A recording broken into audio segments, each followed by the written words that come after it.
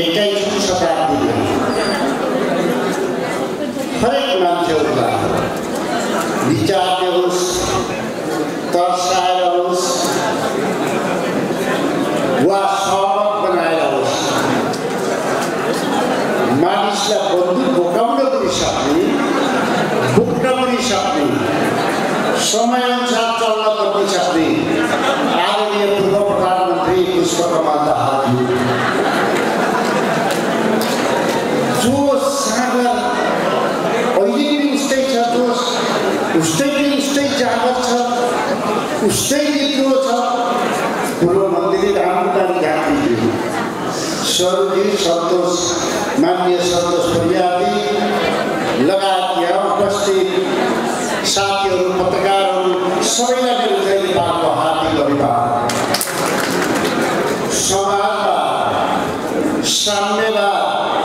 mal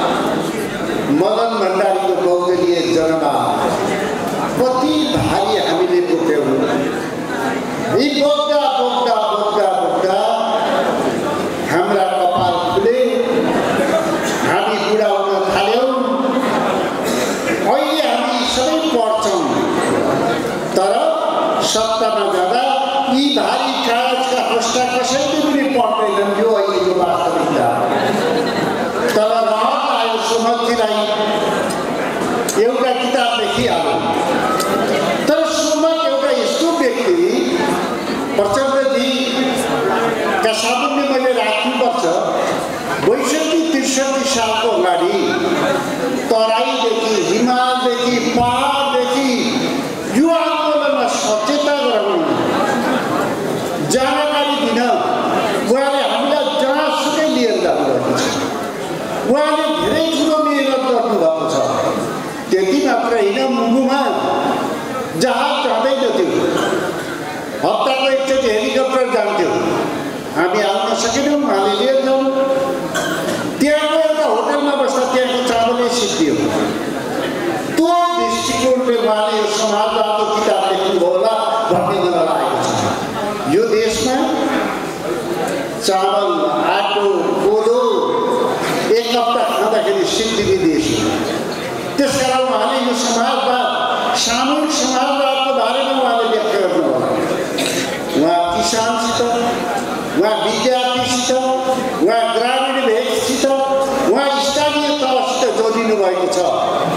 तर हामीले बुझ्नुपर्ने कुरा छ।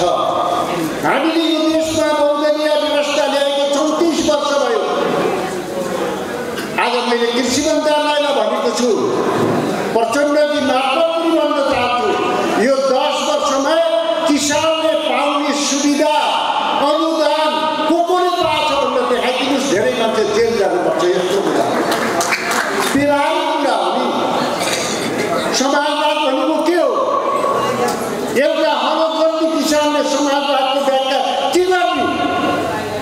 Joe.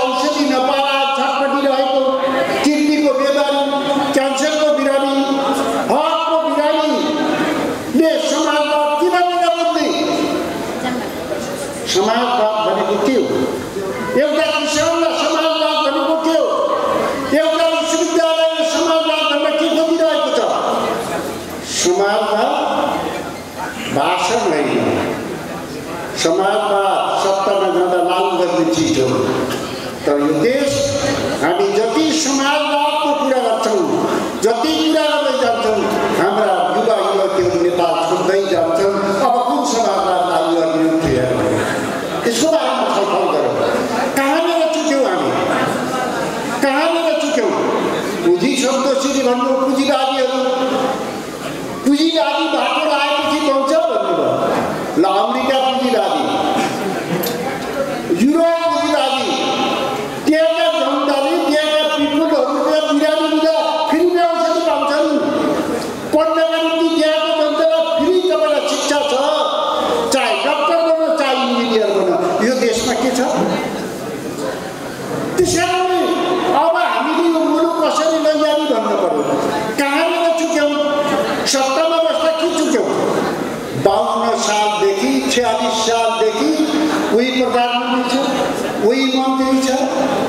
छ परिवर्तन हुँदैन हामीले भाषण मात्रै खाने कि रासन पनि चाहियो राजाको बेलामा पञ्चायतको बेलामा गाँस बाँस कपास हामीले छ्यालिस सालको आन्दोलन गऱ्यौँ हामी तिमीलाई जग्गा दिन्छौँ हामी तिमी खाना दिन्छौँ हामीले रोजगार दिन्छौँ त्यो घाँस बाँस कपास अहिले खाना नाना भनेर परिवर्तन र शब्द मात्रै परिवर्तन र जनताको मुखमा भेट्न पर्न सकेन यो स्थिति हो नि यो नेपालको।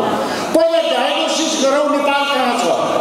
मलाई त आदरणीय प्रचण्डजी म आग्रह गर्न चाहन्छु हजुरलाई मैले महाभारतमा हेरेको थिएँ किन यस्तो फेल भयो त भन्दा महाभारतको युद्धको समाप्तिपछि युधिष्ठिरहरू स्वर्ग जान हिँड्छन्। बाटोमा जाँदा सबै मर्छन्। बाँकी रहन्छन् युधिष्ठिर कुकुर मात्रै बाँकी रहन्छ एउटा रथ लिएर एकजना व्यक्ति आउँछन्। हे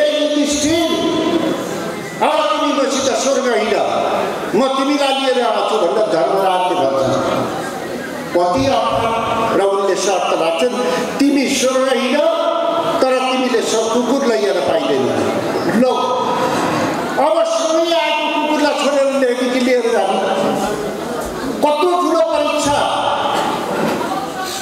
र युधिष्ठिरले भन्छन् त्यसै नेता भइँदैन त्यसै देवता भइँदैन त्यसै इतिहास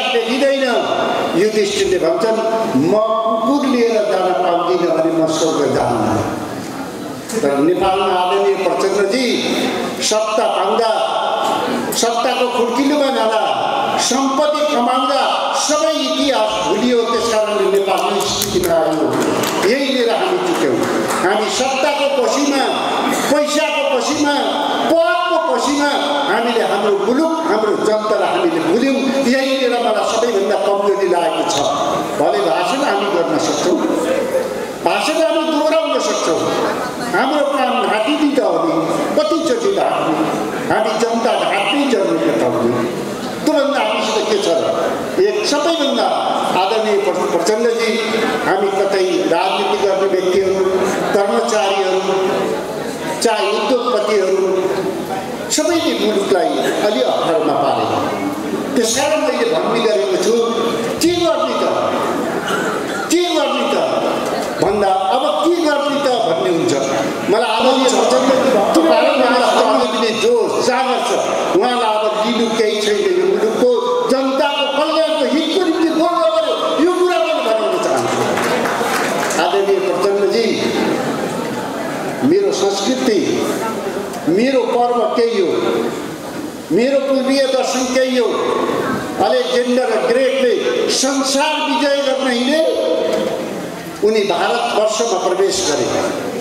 त्यति बेला भारत नेपाल भन्ने थिएन प्रवेश गरे उनले साम्राज्य स्थापित गर्न थिएन साथीहरू उनको भित्तै थियो भारतवर्षका महन्तहरूले मलाई मोक्ष प्राप्त गर्ने बाटो पुऱ्याइ लैजान्छन् भन्ने उनको भित्र इनर फिलिङ थियो यो साम्राज्य मात्रै विश्वको राजा बन्न मात्रै होइन भारतमा प्रवेश गर्दा त्यहाँका साधु सन्तहरूले महात्माहरूले मोक्ष प्राप्त गर्ने बाटो देखाइदिन्छन् भन्ने थियो त्यस कारणले तिनी भारतमा आएका थिए र उनी साधु खोज्दै जाँदा एउटा पिपलका मुखमुखी देख्छन् र उनले भन्छन् हे महात्मा हे महात्मा हे महात्मा के राजन मलाई मोक्ष प्राप्त गर्ने बाटो बताइदिन पर्ने महात्माले भन्छन् हे राजन तिमी मूर्ख घोडामाथि चढेका छौ?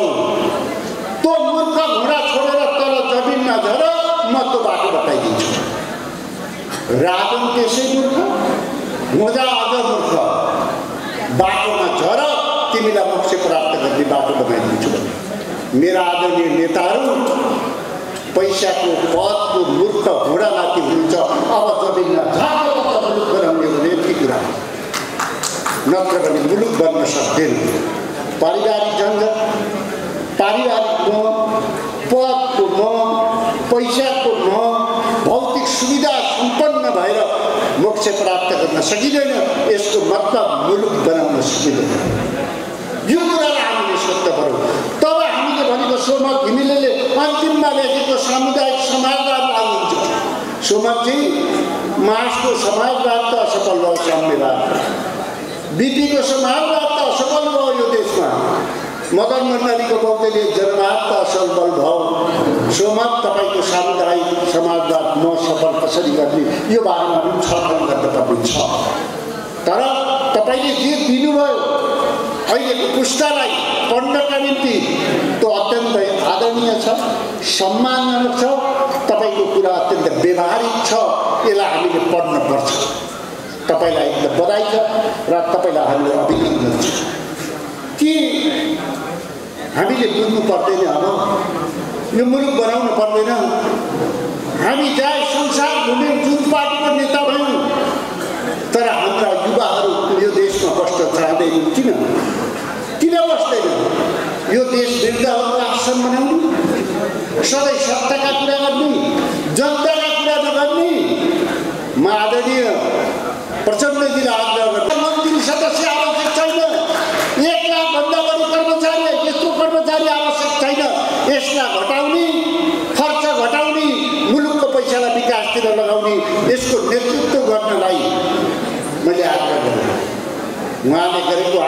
आन्दोलनको समानुपातिक समानुपातिक व्यवस्था अत्यन्तै राम्रो हो हरेक वर्ग तहका तबका सीमान्तकृत वर्गहरूले सदनमा जसको सडकमा जसको सदनमा पञ्चायत छैन जसको आवाज छैन यिनलाई सदनमा ल्याउने सबैभन्दा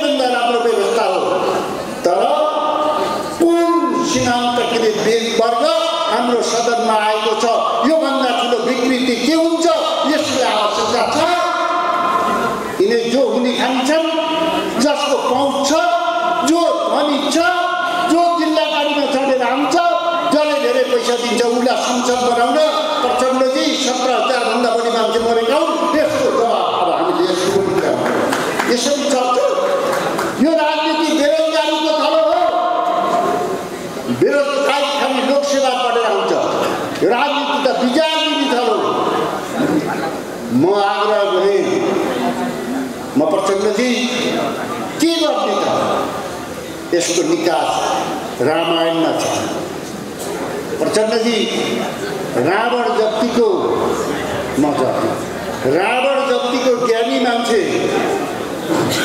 रावण जतिको बुझेको मान्छे रावण जतिको शक्तिशाली मान्छे यो पृथ्वीमा जन्माइदिनु उसका पैताला मुनि नौ ग्रह थिए। उनी रावण थियो उनले सीताको अपहरण गरे। मन्दोदरी जस्तै राम्री सज्जन श्रीमती हुँदा पनि उनले सीताको अपहरण गरे। अपहरण पनि नङले गरे। हाम्रो जस्तो अङ्कमाल गरेर रातिमा लगेर बलात्कार गइन नङले अपहरण गरेर रथमा हालेर गए तिनलाई फाँसी तिनलाई हत्या गरियो रामबाट किन के हत्या गर्नुपर्ने अपराध थियो प्रचण्डजी थिएन त किन गरियो भने उनी ऋषिको भेषमा गएर ऋषिको भेषमा गएर अपहरण गरे। उनले रावणको भेषमा गरेको भए उनको हत्या हुन्थेन उनी ऋषिको पनि अपमान गरे त्यसकारण उनलाई हत्या गरियो। ए आज नेता भन्ने बित्तिकै गाली गर्छन् किन? नेताको भेष नेता भनेको के हो? नेता भनेको विश्वलाई चलाउने जनतालाई निर्देशित गर्ने जनतालाई सुख सुविधा दिने नेता भ्रष्टाचारी भयो भनेपछि अब नेता बनेर भ्रष्टाचार गर्दा भ्रष्टाचारी बनेर भ्रष्टाचार गरेर नेता बन्दाखेरि अर्को अपमान भयो। त्यस कारण यी तरफहरू यी भ्रष्टाचारीहरूलाई जेलमा राखेर मात्र पुग्दैन प्रचण्डजी यो कुरा हामीले सुरुवात गर्नुपर्छ। यदि मेरो कुरा एउटा उद्योगपतिले एउटा व्यापारीले उत्पादन गरेर नाफा भयो तर विषादी खुवाउन पाउँदैनौँ जनतालाई। विषादी खुवाउँदा क्यान्सरको किडनीको आज कति रोग त्यसले अपराध गर्यो भने उसको जीवन लीला अगाडि बढ्न पाउँदैन।